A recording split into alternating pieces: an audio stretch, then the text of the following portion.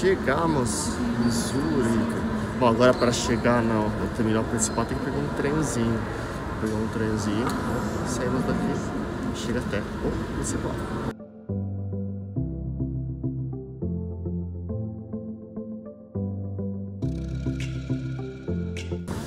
Ó, pegamos a bagagem rapidinho, onde eu mostrei pra vocês. Agora, gente, vamos pegar o trem de Zurich para Genebra. Eu vou mostrar pra vocês como fazer isso, porque também eu não sei. Então vamos descobrir juntos. Ó, a gente queria usar o Our Lounge, Arrival Lounge, mas está fechado por enquanto.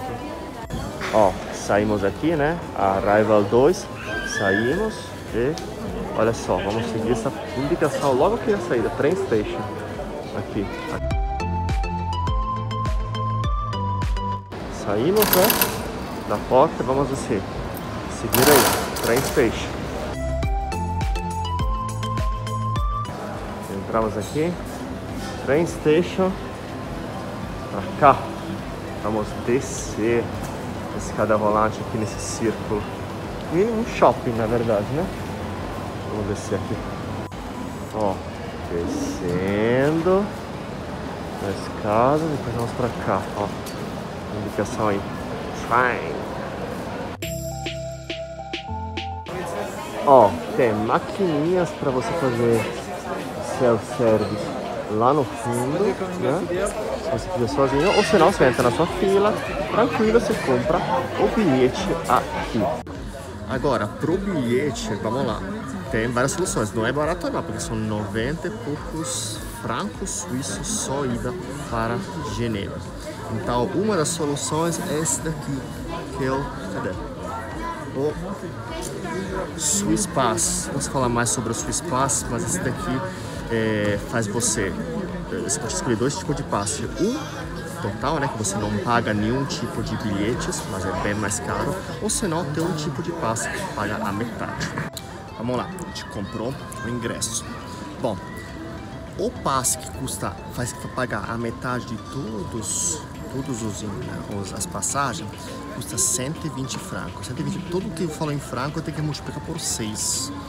Então, só esse passe por uma pessoa vai custar mais de 600 reais, só passe. Mas, meu filho, por exemplo, com esse passe, vai de graça, não custa? A passagem de só ida para Genebra custa 92 francos, então, olha, 500, mais ou menos 500 reais. Mas com esse passe a gente pagou a metade. Então todos também no transporte público dentro da Suíça, a gente pega trem, a gente pega barco, tudo vai pagar a metade do preço. Nesse caso a gente ainda não sabe se compensa ou não, mas como vamos ficar 14 dias em Genebra e muito provavelmente vamos pegar de vez em quando algum transporte público, pode valer a pena, então preferimos pagar isso. Mas presta atenção, a gente pagou 120, mais 120 minha esposa, mais dois ingressos, dois duas passagens, só ida para Genebra, o total deu 330 francos. Então, no total são quase 2 mil reais. Ai, doeu.